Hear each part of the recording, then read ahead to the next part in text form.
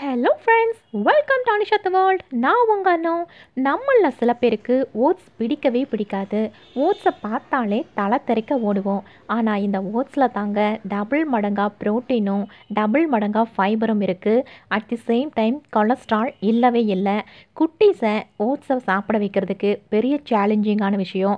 அதுவும் இல்லாமல் நம்மளில் பல பேர் ஆஃபீஸ் கோயர்ஸாக இருக்கட்டும் இல்லை ஸ்கூல் காலேஜ் கோயர்ஸாக இருக்கட்டும் மார்னிங் பிரேக்ஃபாஸ்ட்டை ஸ்கிப் பண்ணுற ஹேபிட் பல பேருக்கு இருக்குது அந்த மாதிரி பிரேக்ஃபாஸ்ட் சாப்பிடாம இப்படி எஸ்கேப் ஆகிறவங்களுக்காகவே ஒரு ஃபுல்ஃபில்லான மார்னிங் பிரேக்ஃபாஸ்ட்டாக அதுவும் ஹெல்த்தியான பிரேக்ஃபாஸ்ட் தான் இன்றைக்கி நான் சொல்ல போகிறேன் இப்போ வீடியோக்குள்ளே வாங்க. சட்டுன்னு அது என்ன அப்படி ஒரு பிரேக்ஃபாஸ்ட்டுன்னு பார்த்துடலாம் ஒரு டம்ளர் பால் கொஞ்சமாக ஓட்ஸ் கொஞ்சமாக சுகர் கொஞ்சமாக நெய். இந்த நாலு பொருட்களை வச்சு தான் அந்த ஹெல்த்தியான ஒரு ஃபுல்ஃபில்லான பிரேக்ஃபாஸ்ட்டை பார்க்க போகிறோம் அதுக்கு ஒரு பேனில் எடுத்து வச்சுருந்த ஒரு டம்ளரில் பாலை ஊற்றி நல்லா காய்ச்சி எடுத்துக்கலாம். இந்த பால் நல்லா இப்போ பொங்கி வரட்டும். இது போல் பால் நல்லா பொங்கி வந்ததும் இது கொஞ்சம் கெட்டி ஆகிற அளவுக்கு ஒரு ரெண்டு நிமிஷம் அப்படியே நான் ஸ்டாப்பாக கலந்து விட்டுறலாம். இப்போது கலந்து விட்டதுக்கப்புறம் இது கூட ரெண்டு ஸ்பூன் அளவுக்கு ஓட்ஸ் சேர்த்திக்கலாம். இந்த ஓட்ஸ் சேர்த்துனதுக்கு அப்புறம் இது ஃபுல்லாகவே பால்லையே நல்லாவே குக் ஆகணும். ஸோ இதையும் நல்லாவே மிக்ஸ் பண்ணிடலாம்.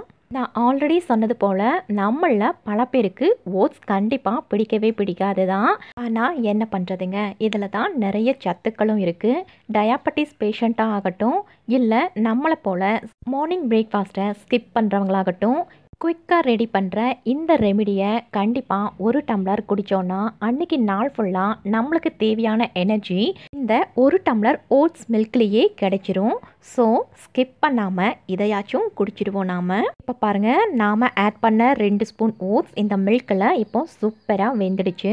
இப்போ இது கூட ரெண்டு டேபிள் ஸ்பூன் அளவுக்கு நாம் சுகர் சேர்த்திக்க போகிறோம் சுகர் உங்களுக்கு எவ்வளோ தேவையோ அந்த அளவுக்கு ஆட் பண்ணிக்கோங்க. டயபட்டிஸ் பேஷண்ட்ஸ் கொஞ்சம் கம்மியாக தான் இல்லைன்னா சுத்தமாகவே ஆட் பண்ணிக்காதீங்க. சுகருக்கு பதிலாக லைட்டாக சால்ட் மட்டும் ஆட் பண்ணி இதை நீங்கள் கஞ்சி போல் கூட நீங்கள் செஞ்சு குடிக்கலாம். நாம் இப்போ சுகர் ஆட் பண்ணதுக்கப்புறம் இன்னும் கொஞ்சம் கெட்டியான பதத்துக்கு வந்தது போலவே இருக்கும். இந்த ஓட்ஸ் இப்போது மில்கில் நல்லாவே குக் ஆகிடுச்சு அது கூட நாம் ஆட் பண்ண சுகரும் நல்லா மிக்ஸ் ஆகிடுச்சு இப்போ ஃபைனலாக இது கூட ஒரு அரை டீஸ்பூன் நெய் ஆட் பண்ணிக்கலாம். நெய் ஆட் பண்ணி இதை நல்லா ஒரு மிக்சிங் கொடுத்துடலாம். இது நெய் வாசத்தோட இந்த ஓ ஓட்ஸ் மில்க் நல்லா கம கமன்னு குடிக்கிறதுக்கு சூப்பராக இருக்கும். குட்டீஸ்க்கு ஓட்ஸை சாப்பிட்ற ஹேபிட்டை பழக்க விடுற சேலஞ்சாக இருக்கட்டும் இல்லை ஓட்ஸ் பிடிக்காத பெரியவங்களாக இருக்கட்டும் இது போல் ஒரு மில்க் நாம் ப்ரிப்பேர் பண்ணி கொடுத்தோம்னா அவங்களுக்கு கண்டிப்பாக இது ஓட்ஸ் மில்க் தான் அப்படின்னு தெரியாமலேயே ஒரு ஹெல்தியான ட்ரிங்கை அவங்களும் சாப்பிட்ருவாங்க இப்போ பாருங்கள் நம்மளுடைய ஹெல்தியான ஓட்ஸ் மில்க் இப்போது ரெடி ஆகிடுச்சு இதை இப்போ ஒரு டம்ளரில் நான் ட்ரான்ஸ்ஃபர் பண்ணிக்கிறேன். நான் ஆல்ரெடி சொன்னது போல் இதில் எக்கச்சக்கமான சத்துக்கள் இருக்குது மார்னிங் பிரேக்ஃபாஸ்ட்டை ஸ்கிப் பண்ணுற அன்பர்களுக்காகவே இது ஸ்பெஷலான சூப்பரான ஹெல்த்தியான ரெமெடி இது. ஸோ நீங்கள் பிரேக்ஃபாஸ்ட் தான் சாப்பிட்ணும் அப்படின்னு இல்லை.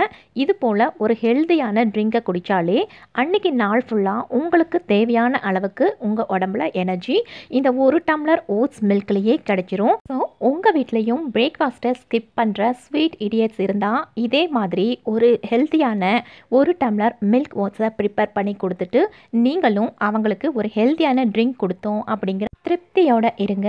ஸோ ஃப்ரெண்ட்ஸ் இந்த ரெசிபி உங்களுக்கு பிடிச்சிருக்கும்னு நினைக்கிறேன். இதே போல் இன்னொரு வித்தியாசமான ரெசிபியோட உங்களை நான் அகெயின் வந்து மீட் பண்ணுறேன் ஹாப்பி குக்கிங்